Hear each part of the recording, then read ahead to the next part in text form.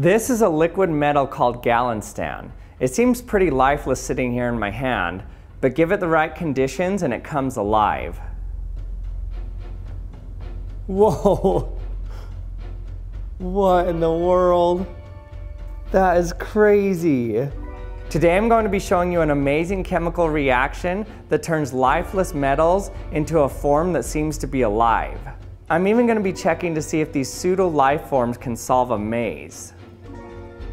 Over 2,000 years ago, ancient alchemists discovered something extraordinary hiding in these bright red rocks known as cinnabar. When these rocks are heated, they release a silvery liquid they called quicksilver. We know it today as mercury. Mercury has been known for centuries as a metal that's liquid at room temperature. It used to be used in everything from thermometers to barometers and even taken as medicine. But fortunately for us, after the discovery that mercury is extremely toxic, we have an alternative that's much less toxic, but still a liquid metal at room temperature. It's a mixture of gallium, indium, and tin. Surprisingly, when you mix all three of these metals together that are solids at room temperature, they make a liquid.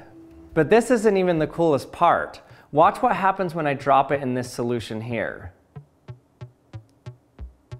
It seems to come alive. It spreads out like a worm and then suddenly contracts back to a spherical shape. And this process can repeat over and over again. Somehow we seem to have made this metal come alive.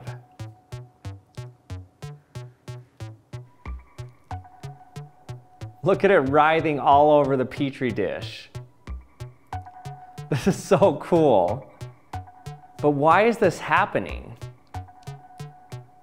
Well, to see what's happening, first let's start with just a drop of Galinstan. You can see that it forms a pretty tight sphere here. This is due to its high surface tension that's trying to make the least surface area possible, which is a sphere. But now I'm going to drop some crystals of cupric chloride on it and a little water. See how it just drops flat? This is because the gallium in the Galinstan is reacting with copper ions in the cupric chloride. This is forming copper that quickly reacts with oxygen in the water to form copper oxide particles. That's this black stuff on the surface. These copper oxide particles attract water, so this lowers the surface tension on the surface of the gallium, so it spreads out. But watch what happens when I add some hydrochloric acid to it. The metallic blob suddenly pops back into a sphere again, and the black copper oxide disappears. So the hydrogen chloride reacted with the copper oxide, turning it back into copper ions again. Now, if we don't do it step by step and instead just put the acid and the Galinstan and the copper chloride all in a solution together, that's where the magic happens. So you have these three competing reactions all happening at the same time. The reason that the metal forms these snake-like fingers like this is that whenever you have a droplet with a given surface tension, there's a pressure inside the bubble or droplet called the Laplace pressure. Now let's say that I suddenly have an area on this drop that has lower surface tension. What happens? Well, the lower surface tension area deforms more than the higher surface tension area, and the Galinstan is pushed into that lower surface tension area. So it's almost like it's ballooning out at the areas at lower surface tension.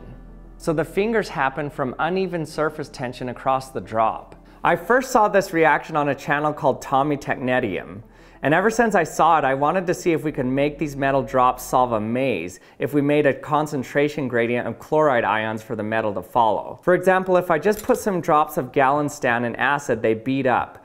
But then if I put the copper chloride crystals in here, then the drops of Galinstan follow and consume the crystals.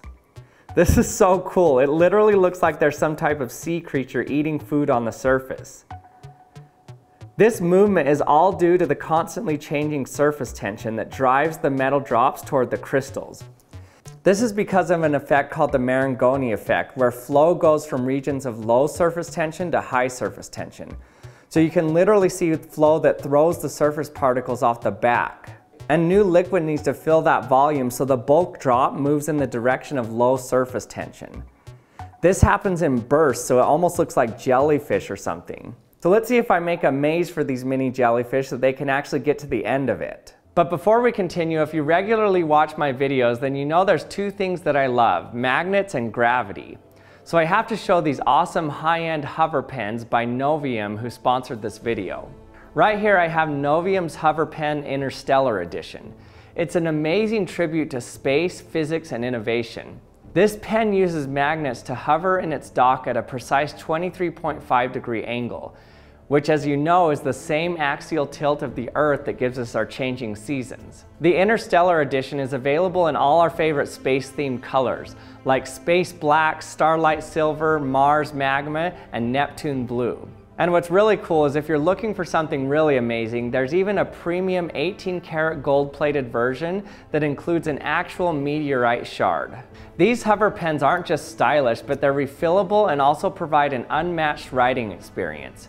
They come in super high-end packaging that really highlights the quality of the pen. They're an amazing combination of art and space. The Interstellar Edition was named one of Time Magazine's best inventions of 2022. And in addition to the Interstellar version, they also have the HoverPen Future Edition. These pens are the ultimate in high-end design and functionality. Right now you can get 10% off and free shipping with the discount code ActionLab when you scan the QR code or click the link in the description. And thanks again for Novium for sponsoring this video. Now let's get back to our experiment. Okay, first I'll put some hydrochloric acid in here. Then I'm gonna lay down my gradient of copper ions. Okay, let's see if the Galinstan can actually find the end of the maze.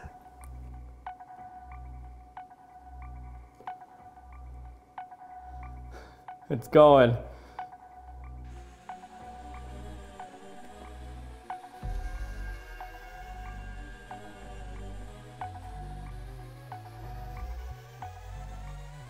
This little guy's going for it.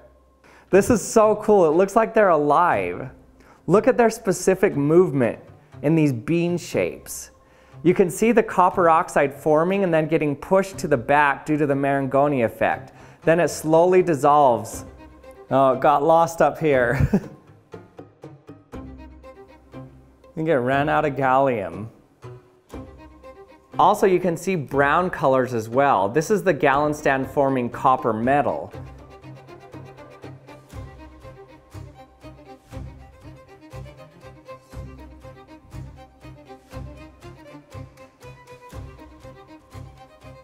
And it made it. What's interesting is that this reaction is very similar to a reaction I did a few years ago in a video called the beating heart experiment. In this reaction, I put some gallium and sulfuric acid, and then I touched it with a piece of iron. When the gallium's placed in the acid, a thin layer of gallium sulfate forms. This changes the surface tension and causes it to beat into a tighter sphere. Then when it touches the iron, this creates a reverse reaction turning the gallium sulfide back into gallium, causing the bead to relax. As the gallium bead moves away from the iron, it reacts with the sulfuric acid again to reform gallium sulfate. This restarts the cycle, so it just goes back and forth between these two states. This one's really cool because it literally looks like a speeding, beating heart. And thanks for watching another episode of the Action Lab. I hope you learned something. If you haven't subscribed yet, remember to hit that subscribe button and we'll see you next time.